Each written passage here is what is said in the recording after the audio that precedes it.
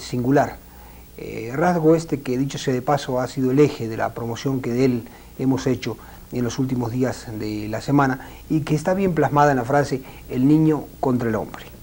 Y en realidad no podía ser de otra manera, ya que aquella noche del 6 de marzo de 1976 en San Juan de Puerto Rico, cuando eh, se enfrentaron Pambelé y Wilfredo Benítez, el puertorriqueño solo tenía 17 años de edad y el colombiano exactamente el doble, 34 años.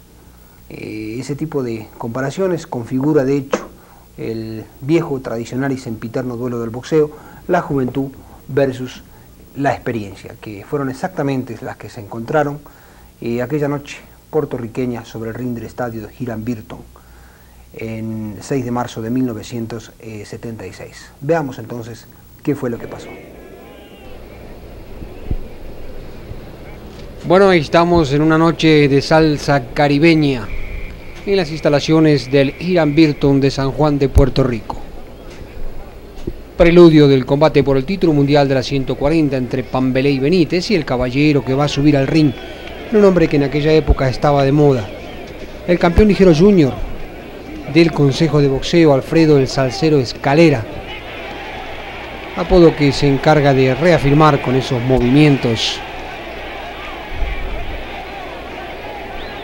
típicamente salseros. Alfredo Escalera, un hombre muy pero muy valiente que dio dos salvajes combates al nicaragüense Alexis Argüello. Ustedes se acuerdan de ellos.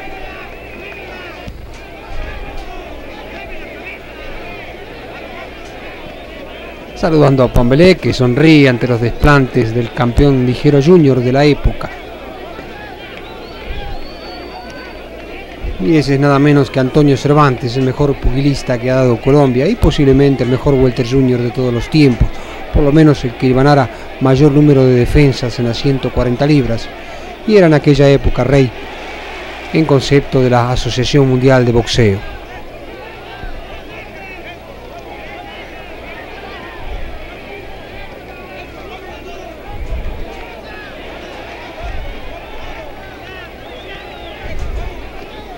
Las presentaciones de rigor, la esquina de Pambelé, cuyo estado mayor está formado por Tabaquito Sáenz.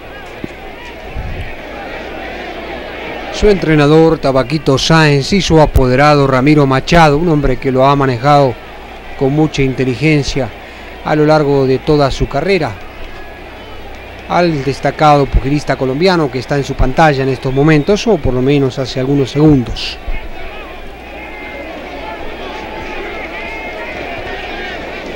Y ahora presentan a Wilfredo Benítez, un chico de 17 años esa noche, nativo de Carolina, con 129 combates como peleador aficionado, estuvo en Costa Rica cuando tenía 14 años representando a su país en justa centroamericana y del Caribe. En aquella época era tercer clasificado. Nica Costa y su padre Gregory Benítez son quienes estarán en su esquina esta noche y tenía a la sazón un récord de 25 combates invictos con 21 knockouts y cuatro decisiones. Pambelé por su parte, mucho más veterano, 34 años, el doble de la edad, 82 combates, 8 derrotas, 3 empates y 34 knockouts, eran los pergaminos de Pambelé aquella noche de Puerto Rico. Nativo de San Basilio del Palenque, un pueblito perdido en alguna provincia colombiana, al que nos imaginamos como el célebre Macondo, que inmortalizara García Márquez en sus 100 años de soledad. Y ese es el chico, Wilfredo Benítez. Tercer clasificado en las listas de las 140 de aquel mes de marzo de 1976. Los dos tienen la misma altura, 29 pulgadas de alcance. Y los jueces son Carlos Elís de Venezuela, Roberto Ramírez de Puerto Rico, Isaac Herrera el panameño de camisa azul que hace las veces de tercer hombre y también será jurado del combate. La espalda de Gregory Benítez en primer plano en la pantalla, masajeando con su mano derecha la espalda de su hijo Wilfredo y escuchando atentamente las instrucciones de el elegante árbitro panameño, nuestro buen amigo Isaac Herrera, quien alguna vez llegaron a llamar el Nureñev del ring por la elegancia de sus desplazamientos en su función de árbitro de tercer hombre en combates invariablemente válidos por títulos mundiales de boxeo. Primer round comienza disputa del Campeonato Mundial de la 140, pactado a 15 asaltos. Wilfredo Benítez, pantalón blanco, botas oscuras, a la derecha de su pantalla, con su rostro de niño fácil de distinguir. Atento, ágil, juvenil, famoso por su impecable coordinación cerebro-muscular, el puertorriqueño Wilfredo Benítez. Frente a todo eso, ceñudo, taciturno, grave, con mucha experiencia y tremendamente peligroso, el colombiano Antonio Cervantes Kid Pambelé. Acciones en la distancia, ambos se observan atentos en los albores de este combate titular.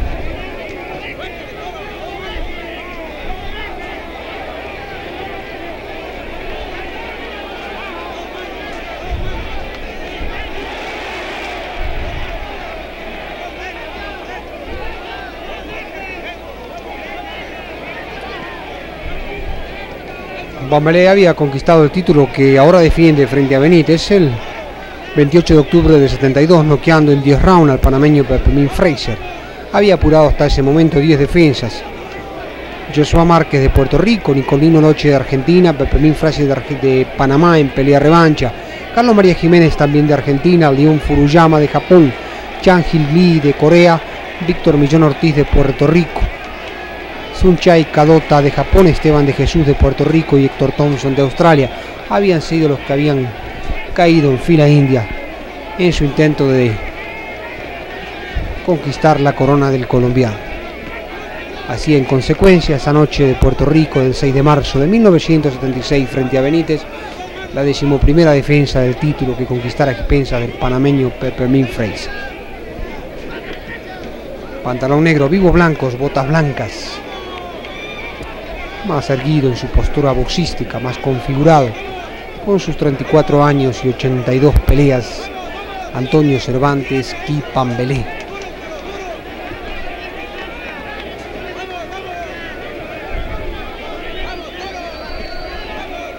Típico primer round de estudio. Atentos ambos. Observan las características de su rival. Y desde luego llama la atención la pose olímpica, confiadísima de Benítez, quien explora su veterano y sobresaliente rival sin grandes complejos ni inhibiciones.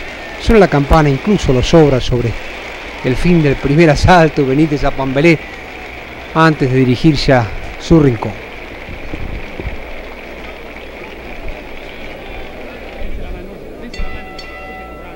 Haciendo gala de un envidiable dominio de sí mismo, el puertorriqueño Wilfredo Benítez asiste a este segundo asalto. volando la izquierda en jab que maneja con mucha maestría el peleador de Carolina, Puerto Rico, con apenas 17 años y muchas, pero muchas ambiciones. Wilfredo Benítez, izquierda larga de puertorriqueño buscando destinos en los altos de Pambelé.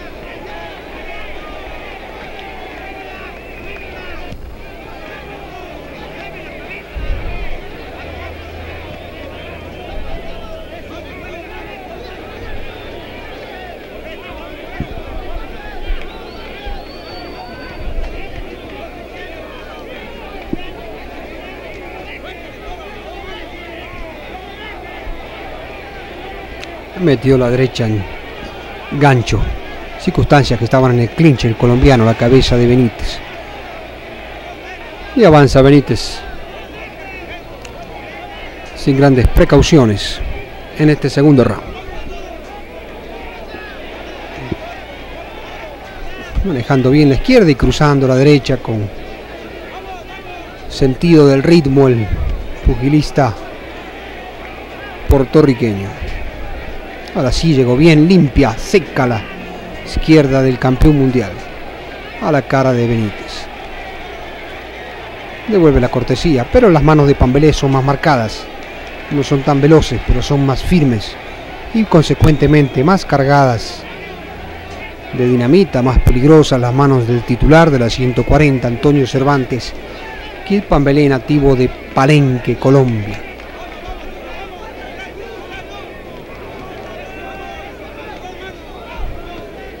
Ágil, inteligente, movedizo, juguetón, el peleador de Carolina, Wilfredo Benítez. Estamos en el segundo round.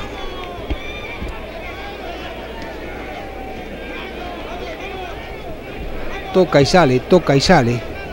Con una izquierda rápida, centellante, que la mayoría de las veces llega, o por lo menos buena combinación, cruzó la derecha y volvió con la misma mano, es decir, con la izquierda la cara del campeón, el puertorriqueño, hace algunos segundos. Decíamos, son puntuales, veloces y mm, precisos los envíos del puertorriqueño, pero por la forma que los envía y la posición de sus pies al momento de arrojarlos, no deben llevar mucha potencia como para incomodar al titular de la 140. Ahí quedó desmantelado Pambelé al fallar su gancho de derecha. Circunstancias que no aprovechó el puertorriqueño para contragolpear. Suena la campana y nos vamos para la tercera vuelta. Y ese es el hombre, Antonio Cervantes, Kid Pambelé, lo más grande que ha dado Colombia en toda su historia boxística. Y posiblemente el mejor, o uno de los mejores peleadores de 140 libras de toda la historia del boxeo, el colombiano Antonio Cervantes, Kid Pambelé.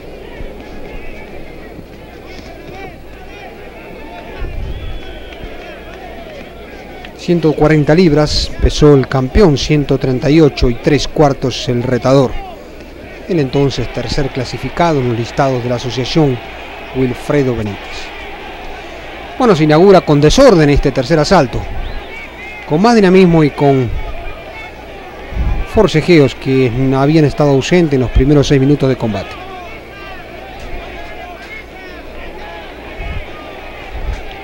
Grave, concentrado, ceñudo el colombiano, buscando la forma de imponer respeto a un rival que se va agrandando en el transcurso de los minutos. ¿Qué es eso? Podría ser tu padre, pareciera pensar el colombiano. Al imberbe pero audaz Wilfredo Benítez.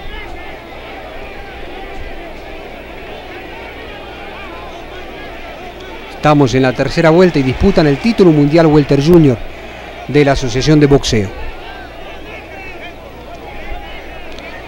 Nuevamente la izquierda en punta del puertorriqueño imantada sobre la cabeza del colombiano. Una y otra vez. Proyecta con excelente sentido de tiempo y distancia. Un accionar que podríamos calificar como más espectacular que efectivo, llena los ojos. Trasunta elegancia, pero reiteramos, dudo que cree problemas en Pambelé que la recibe sin mutarse. Estamos hablando de ese rápido, ágil jab del puertorriqueño Wilfredo Benítez. Así cruzó bien con la derecha. Benítez a Pambelé en estos pasajes de la tercera vuelta. El colombiano siempre su lacerante izquierda en jab. Esta noche no encuentra un destino cierto. Y está concentrado en la forma, en la búsqueda de la forma que le permita conectar su temible gancho de derecha el colombiano Antonio Cervantes Kid Pambelé. Famoso gancho de derecha de Pambelé que tanta carne ha tumbado en tantos ring del mundo durante tantos años.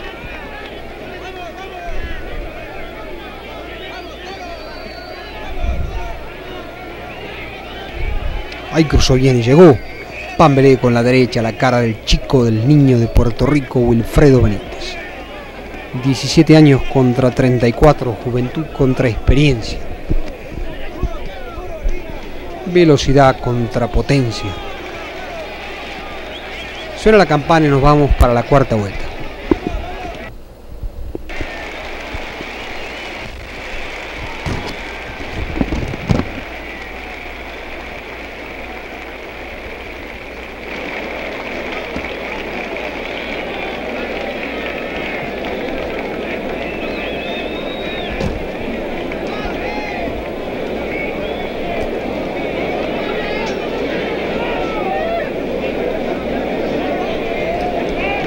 Gregory Benítez está junto con Nica Costa en la esquina de Wilfredo y aquello de los padres en el boxeo que están en la esquina de sus hijos.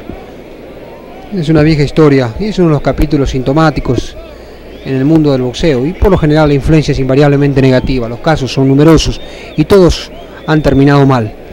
El cariño, la efusividad del padre en una esquina no es exactamente un aliado para el boxeador. En el caso de Gregory Benítez con Wilfredo las cosas salieron bastante mal al punto que al final terminó decidiendo vender el contrato de Wilfredo a Jim Jacobs de Nueva York por 75 mil dólares, quien es hoy en día el actual apoderado de Wilfredo Benítez.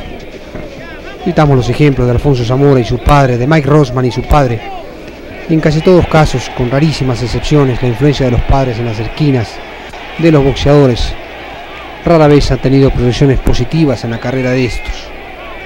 Sin embargo, en aquella época todavía Gregory Benítez estaba en la esquina de su hijo Wilfredo. Hoy ya no lo está más. El hombre que tiene sus contratos es Jim Jacobs, nuestro buen amigo el neoyorquino Jim Jacobs, con quien estuviéramos hace algunos días. Buena combinación de Benítez con ambas manos a los altos del colombiano. Izquierda y derecha cruzadas, llegando ambas, replanteando el combate en la distancia el colombiano esperando una oportunidad que todavía no ha llegado. El momento, el tiempo, el espacio para proyectar su temible gancho de derecha. Así la izquierda tocó el mentón del puertorriqueño por parte del campeón mundial. Antonio Cervantes Kid Pambelé. Pantalón negro, vivos blancos, espaldas a la cámara. Frente a el de Puerto Rico, alegre juguetón con boxeo tropical Wilfredo Benítez. Esa carrera, el tercer hombre, mira desde lejos las acciones. Cruzó bien la derecha Benítez llegando a la cabeza del colombiano en esta cuarta vuelta. Todo un personaje esa carrera, es un gusto conocerlo, dialogar con él. La conversación está llena de anécdotas recogidas en tantos ring del mundo donde le ha tocado la función de tercer hombre arbitrado peleas no solo de Pambelé, peleas de Durán, peleas de Monzón y de muchos otros gigantes del encordado. Ese hombre de pantalón azul, de pantalón negro y camisa azul, Isaac Herrera. Íntimo amigo de nuestro Luis Portela.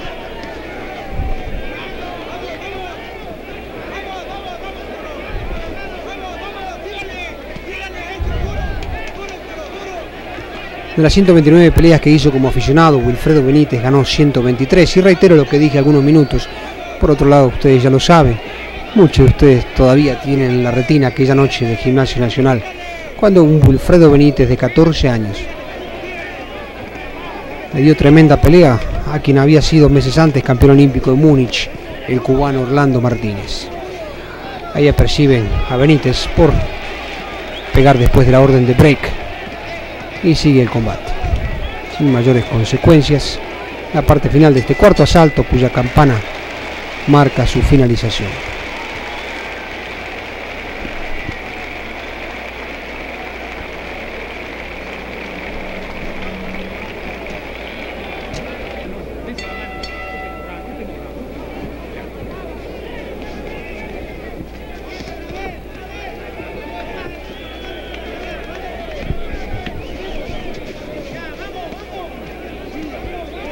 Rompan, dice Isaac Herrera, y sigue el combate. Estamos en la quinta vuelta.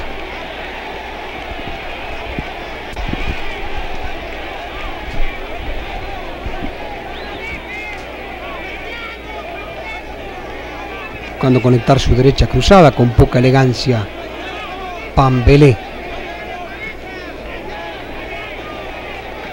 Soltándose, incluso manifestando de rato cierta desesperación por colocar sus envíos el colombiano cruzó bien la derecha. Pambeley llegó de alguna forma a Benítez que amortiguó el impacto con un movimiento de torso, lo que por supuesto no evitó que lo recibiera en parte y absorbiera el castigo. Estamos en el quinto capítulo de un combate a 15 rounds.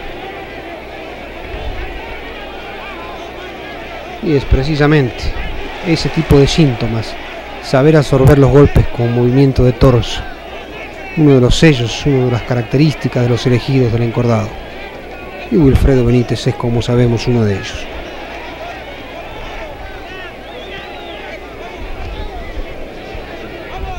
Golpe que no puede evitarlo, lo acompaña con una leve rotación de torso y absorbe gran parte de su potencia con ese recurso.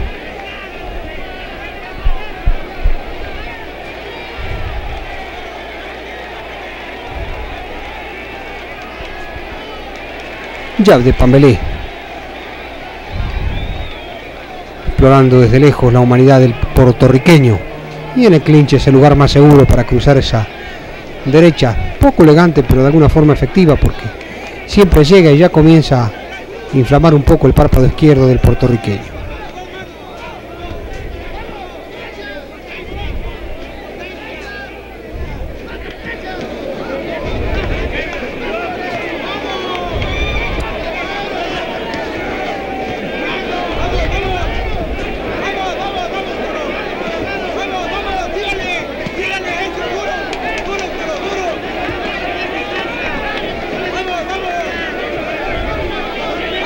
Bien, Benítez dejó la derecha del colombiano en el aire y conectó sus dos manos a la zona alta de Pambelé hace algunos segundos.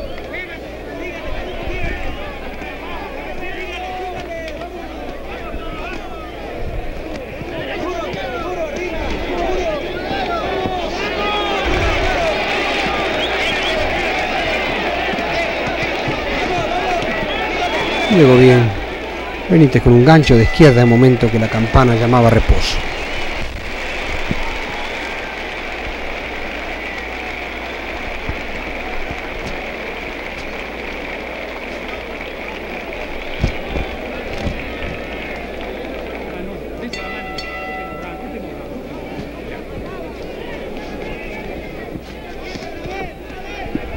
Bueno, ya estamos en la sexta vuelta.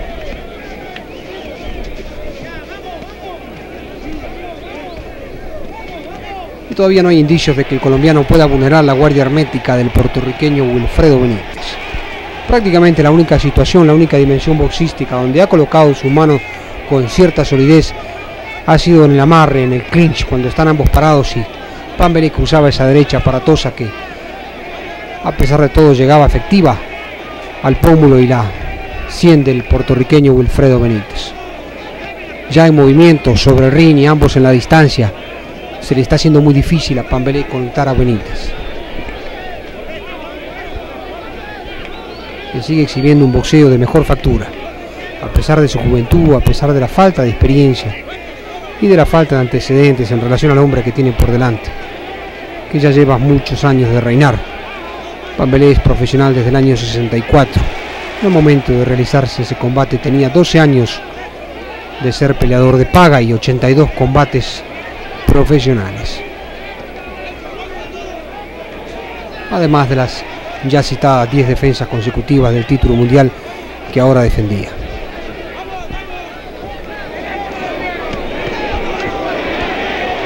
Con sentido de la oportunidad salta y conecta arriba el puertorriqueño, que sigue siendo el más veloz y posiblemente el más inteligente de los dos.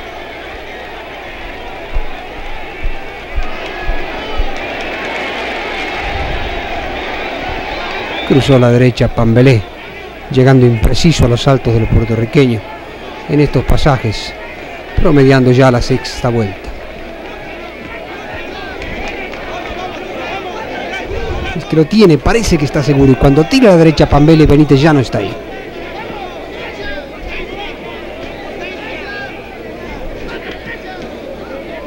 Y esas son las circunstancias prácticamente exclusivamente donde Pambelé puede castigar con la derecha momento que está amarrado lo tiene quieto y parado. Lo inmoviliza con la izquierda y le cruza a la derecha. Es prácticamente la única circunstancia donde puede castigar Pambelea al movedizo Wilfredo Benítez, que sigue quitando las manos y proyectando las suyas con buen sentido de tiempo y distancia.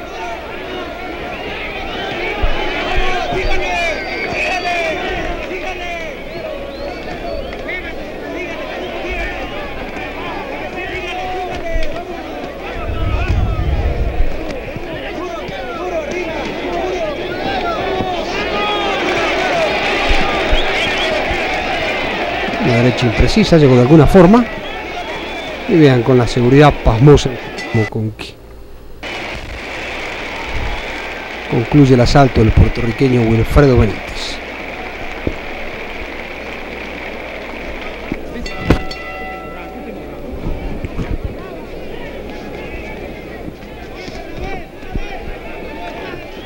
Y la ventaja que Benítez le lleva a Pamberé es, reitero, de carácter más espectacular, estética,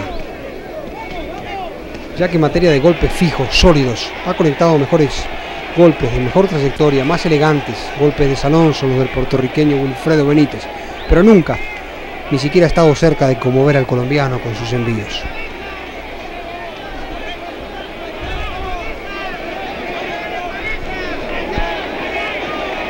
Llegó bien con la izquierda Benítez a la cara de Pambelé, manejando bien las laterales y con un buen juego de piernas el ring se le hace infinito al puertorriqueño.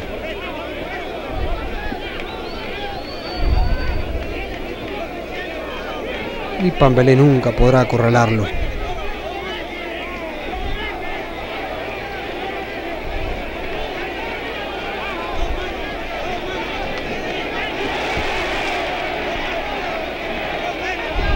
Escarbando con la izquierda larga Benítez. Agregando a ello un buen trabajo de cintura.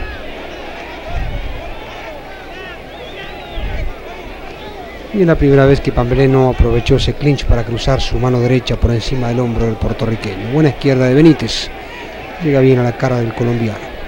Ahora sí, la derecha de Pambelé también dijo presente en la cara del puertorriqueño.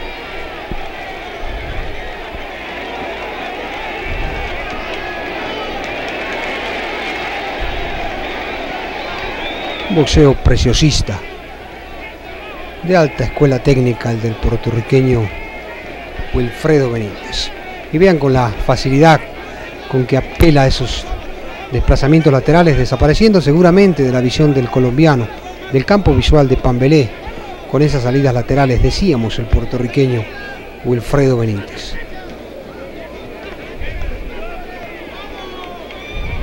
Pica y sale.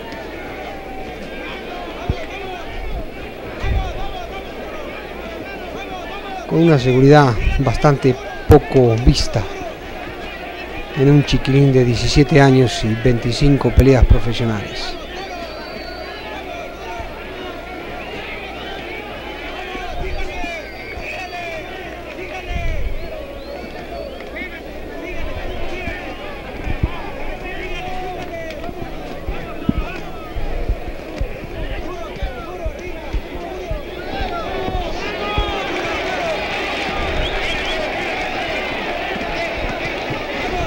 Intentando manejar manos abajo Pambelé para restarle movimiento a su dinámico adversario.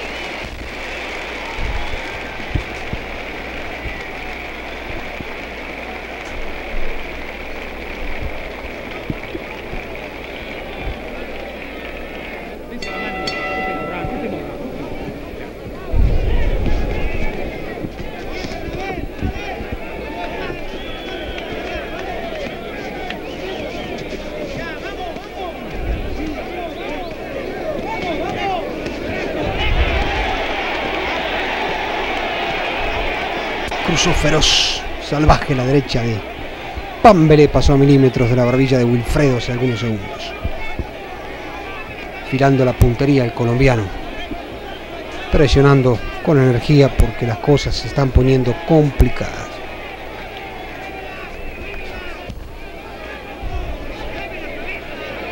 Metió bien la derecha Pambelé.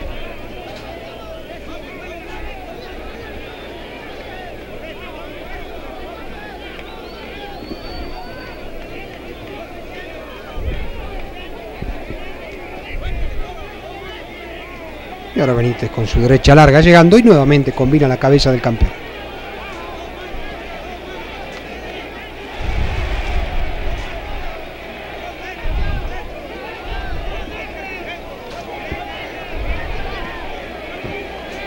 Abre la guardia el colombiano.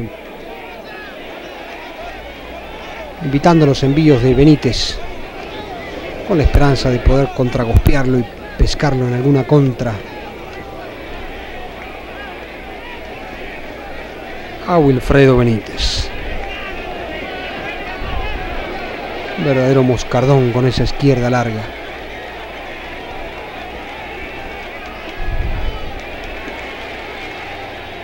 Castiga abajo y vuelve con la misma mano arriba y avanza descargando sus baterías a los altos del colombiano.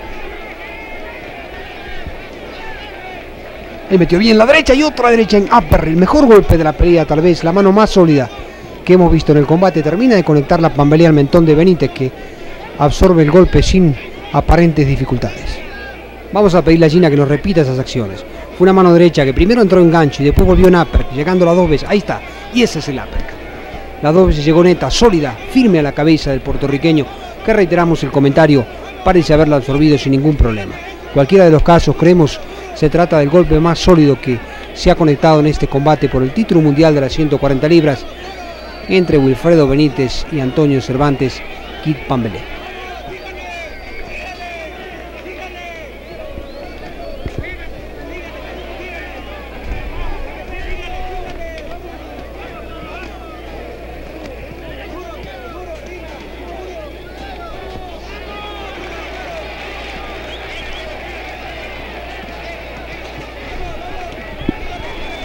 y había gente preocupada en el ringside viendo este combate.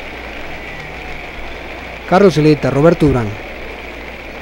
Y gente relacionada con el negocio de las trompadas. Seguían atentos las instancias de este choque titular entre Benítez y Pambelé.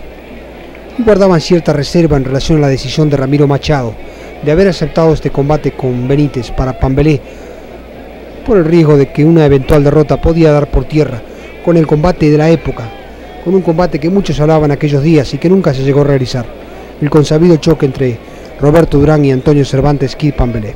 Gregory Benítez, el padre de Wilfredo, cuestiona la vaselina en el pómulo de Pambelé, manda a Isaac Herrera a limpiarlo con el paño y una vez hecha esta operación se reanuda el combate a la altura del noveno asalto.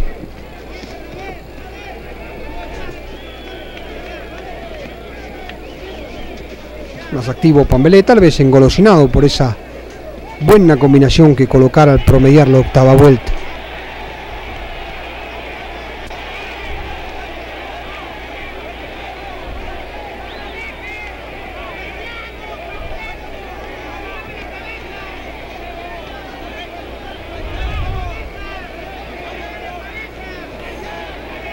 Ya se encargará a la izquierda del puertorriqueño de ir limpiando la grasa en el pómulo derecho del colombiano en estos pasajes de la novena vuelta.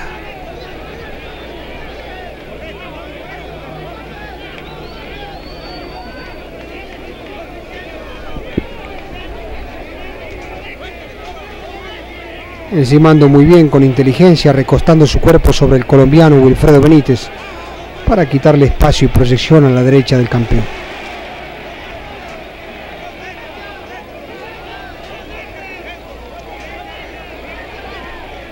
Vean cómo lo encima y inclina su torso para adelante para evitar el consiguiente volado derecha con que Pambelé lo recetaban los clinches en la primera parte de la pelea.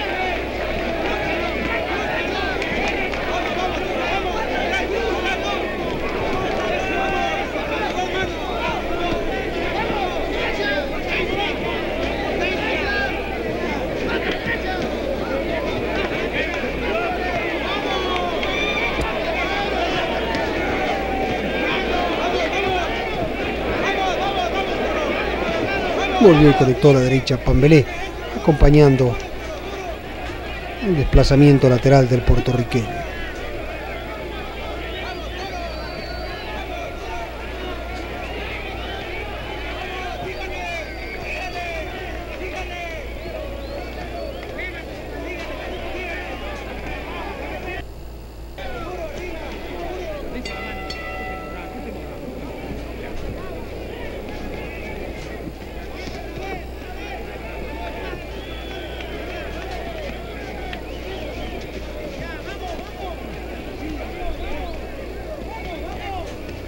Ambos dinámicos inauguran la décima vuelta.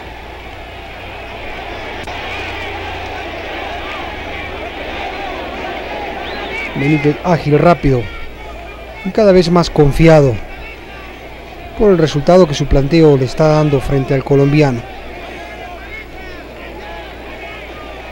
Buena per de izquierda, volvió con gancho. Una combinación de manos que llegaron todas a la zona alta del puertorriqueño. Decíamos, tanto frustrado por no haber podido colocar en la cantidad y calidad con que hubiera deseado su temible mano derecha el colombiano Antonio Cervantes en los 30 minutos anteriores de combate. Veremos qué nos depara la quinta y última parte de este pleito por el título mundial de las 140 libras.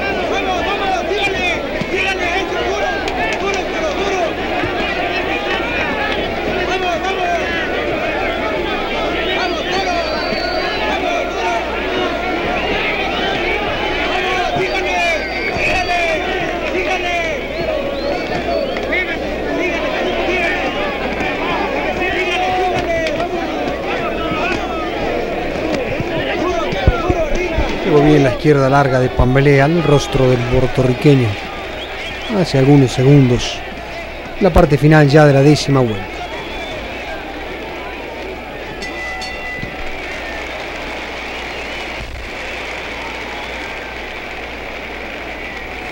Preocupado estaba Quito Sainz por el superciliar derecho del colombiano, al que constantemente atiende con algún tipo de linimento, vaselina.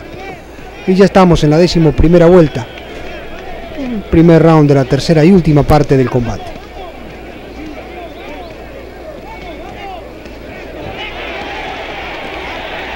Buscando desatarse Pambelé. Tratando de encontrar en la cantidad la posibilidad de un golpe sólido. De conectar algún envío realmente sólido el colombiano Antonio Cervantes Kipambelé. Benítez inmutable, lo mira de lejos. Sepan disculpar los amables televidentes, esos pequeños baches que aparecen de tiempo en tiempo. Ya han venido con la película.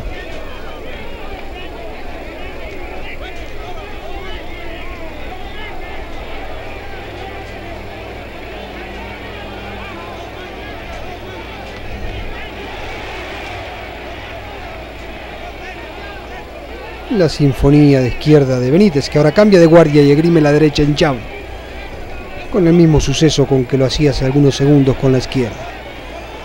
Ante un desorientado Antonio Cervantes Kid Pambelé. Vean eso.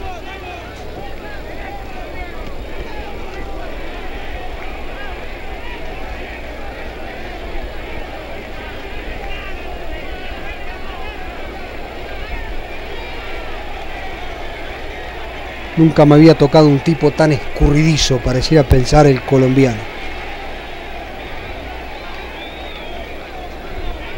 Si solo se quedara quieto un segundo, pero eso no sucede. Wilfredo Benítez está siempre en movimiento y cuando está en el clinch hábilmente recuesta su cuerpo sobre el colombiano para quitarle ángulo a los golpes de este. Sabe lo que hace el puertorriqueño Wilfredo Benítez, que no le quepa ninguna duda a nadie.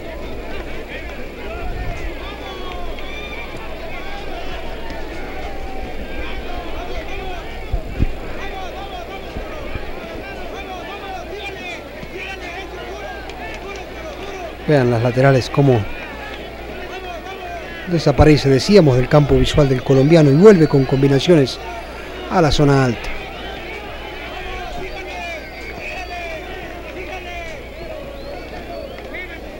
Definitivamente que ahí no hay cálculo, no puede haber cálculo, ahí lo que hay es una gran intuición boxística, signo de los elegidos, de los virtuosos del encordado.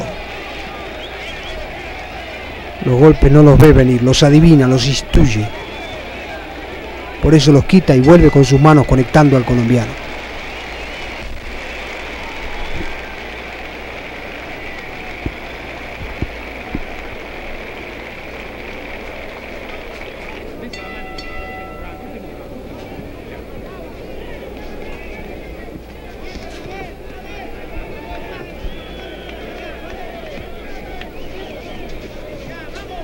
Recordamos, como siempre lo hacemos, mañana de, 9, de 8 a 9 de la mañana en el monumental mundo del boxeo.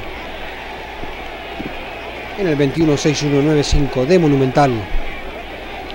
Esperamos sus llamadas telefónicas con temas relativos al deporte que a todos nos ocupa. Con temas relativos al boxeo mañana de 8 a 9 de la mañana en el 216195 de Radio Monumental. Vean eso. En qué elegancia pasa por debajo de la derecha del colombiano y se coloca a distancia con un ágil movimiento lateral. Y ahora sí llegó bien la derecha de Pambelé a la cabeza de Rod. Wilfredo Benítez.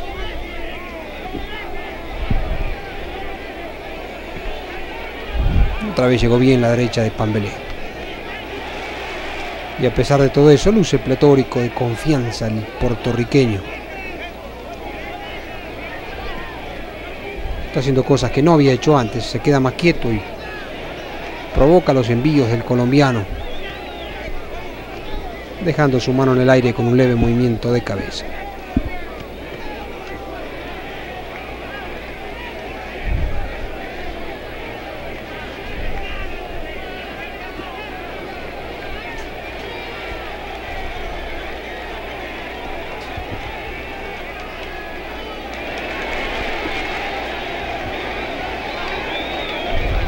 Rompan, dice esa carrera y sigue el combate. Estamos en la decimosegunda vuelta.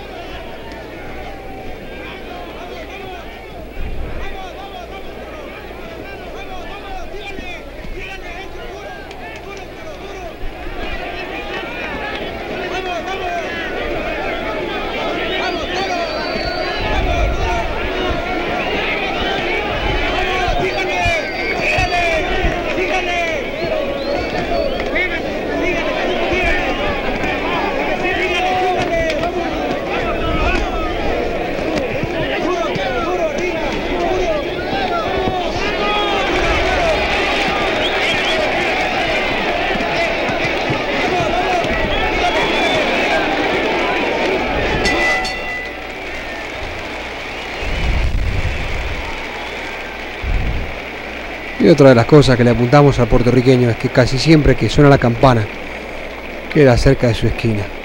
Cuando mucho camina dos pasos y se sienta. Mientras que Pambelé debe recorrer todo el ring para llegar a su propia esquina. Y eso sucede con tanta frecuencia que posiblemente sea otra de las diabluras del puertorriqueño, el cálculo posicional de manera que la campana lo tome cerca de la esquina algo que hacía famoso, que hacía el famoso San Langford allá en la primera quinceña del siglo que vivimos.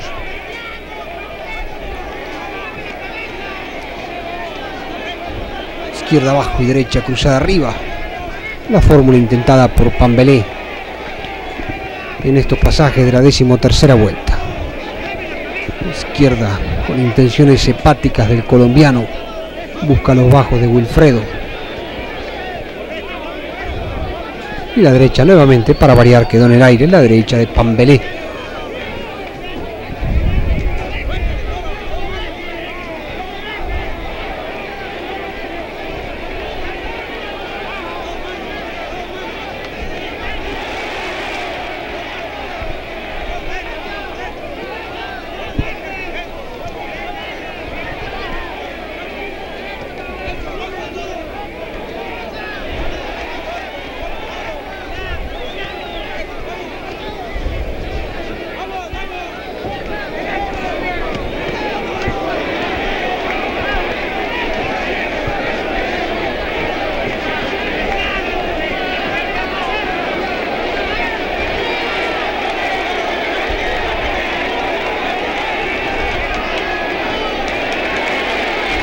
Mezcla de cansancio y resignación parecieran pintarse en la cara del colombiano. A esta altura del combate, ya sobre la parte final, ante un problema que aparentemente sigue sin tener solución para el hombre de Palenque.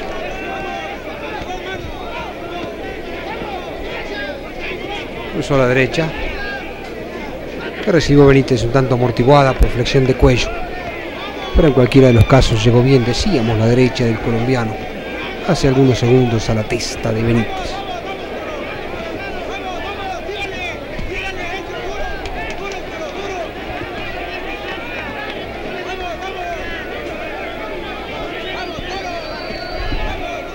Vean cómo le quiere barajar el jab, por eso levanta la derecha, porque está esperando que proyecte el jab el colombiano para tomarlo con su mano, bajarlo y largar la derecha. Y eso fue lo que hizo recién.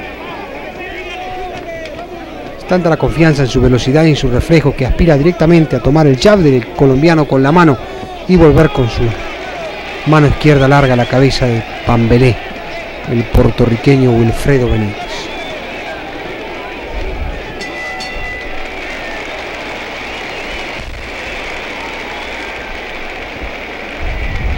Décimo cuarto round y en la esquina del colombiano hay un mal presentimiento. La sospecha, el pálpito, que a lo mejor esa corona se queda en San Juan de Puerto Rico, a menos que suceda algo importante, a menos que puedan introducir una nueva pauta en lo que queda del combate, que son solo seis minutos, y ya nos vamos para el décimo cuarto round.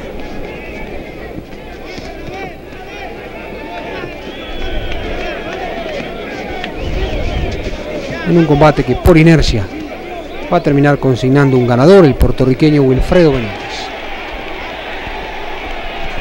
De seguir las cosas como están.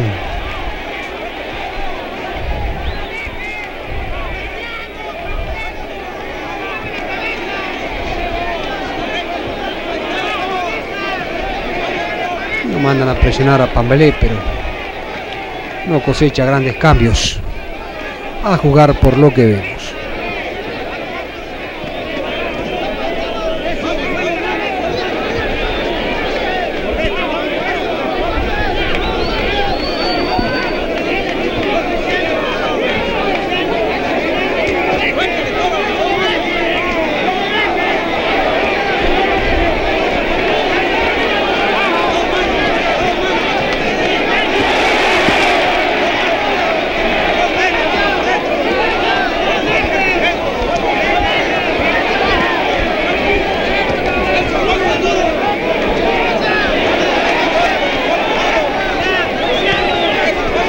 quedó corto Benítez con su izquierda larga y lo recibió en el clinch con un buen derechazo cruzado Pambelé, situación que repite en las mismas circunstancias en estos pasajes de la decimocuarta vuelta. Contra las cuerdas Benítez mete izquierda Pambelé, erra derecha, pero vuelve con la mano izquierda y castiga al puertorriqueño cuando este sale hacia el centro del ring.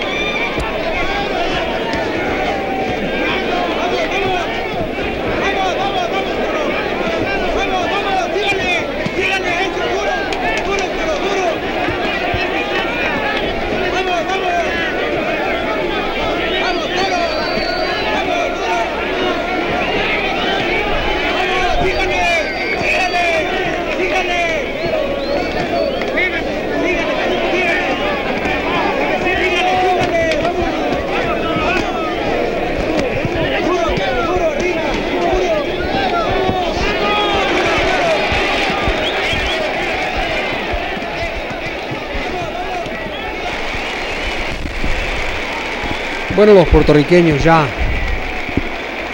olfatean el triunfo de su compatriota Wilfredo Benítez.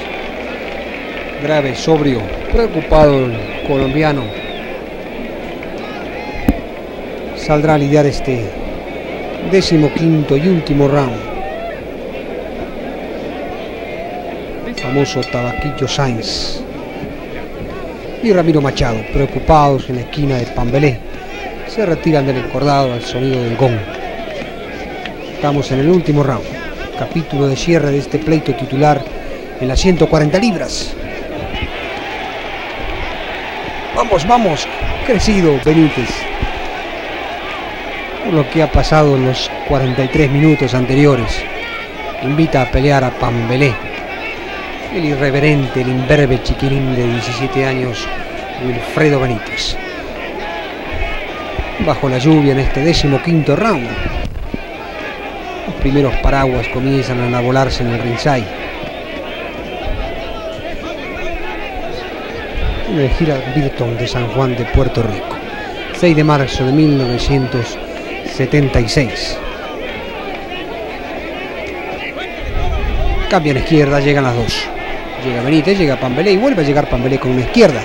Fogoso cambio de golpes en la media distancia. Minuto 1 del décimo quinto round.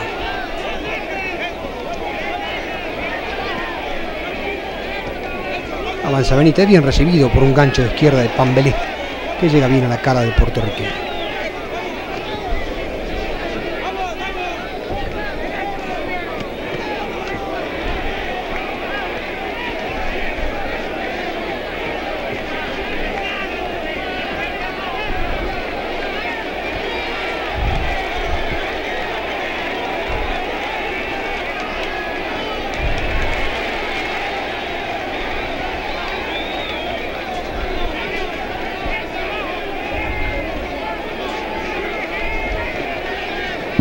Metió bien en la derecha y devolvió la cortesía a Benítez. Con la misma mano y una combinación posterior que apabulló, que llegó bien a la cabeza de Pambelé. Ya sobre el filo del combate por el título mundial de las 140 libras que ambos protagonizan. Maraña de codos, brazos y golpes separa esa carrera y sigue el combate en la distancia, se miran pero no se tocan. En cualquier momento suena la campana, avanza Benítez, lo recibe Naper, el colombiano se retira, Benítez donde proyecta dos manos que llegan bien a la cara de Cervantes. Y ahora Cervantes con su izquierda busca retener un título que se le está yendo como arena entre las manos.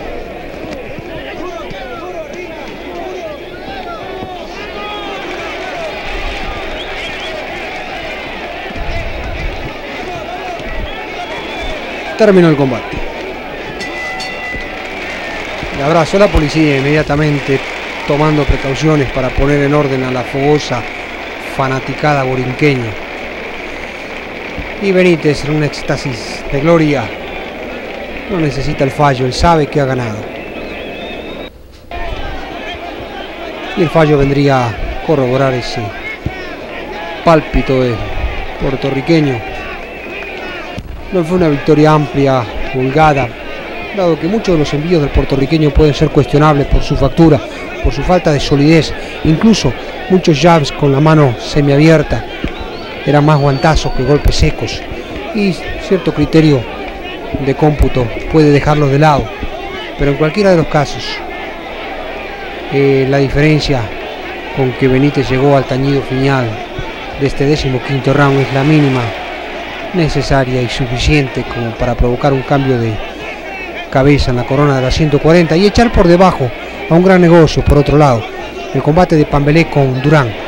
¿quién iba a pagar para ver frente a Roberto Durán a un Pambelé que había sido vencido por un chiquilín de 17 años y fue exactamente eso lo que pasó y esa fue la causa por la cual ese combate nunca se llegó a realizar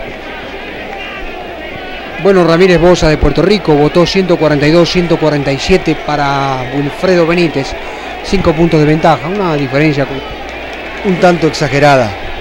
Jesús Elís de Venezuela 147 a 145 para Pambelé, una tarjeta que le dio carácter dividido al fallo de este combate.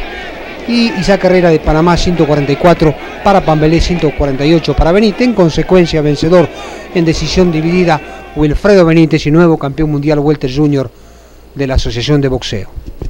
Bueno amigos, hasta aquí llegamos por hoy. El resto en relación a Benítez es historia mm, fresca eh, de ese título de la 140 que conquistara esa noche. Hizo dos defensas, mm, tres defensas exactamente, frente a Tony Petronelli, Emiliano Villa y Ray Guerrero Chávez. Después eh, su padre no le permitió volver a subir al ring frente a Pambelé, por lo que fue despojado por la Asociación Mundial eh, y Pambelé recuperó el título, donde reinó hasta hace poco. Eh, por relación a Benítez, como sabemos, incursionó en los Welter, conquistó el título frente a Palomino y está un tanto penumbrado desde que perdiera su corona de la 147 frente a Sugar Ray Leonard, pero sigue siendo, a pesar de todo, hoy en día el primer retador del Consejo de Boxeo en las listas de la 147 y desde luego integra el póker de ases de la división formado por Hans, por Leonard y por el Roberto, el propio panameño Roberto Mano de Piedra Durán.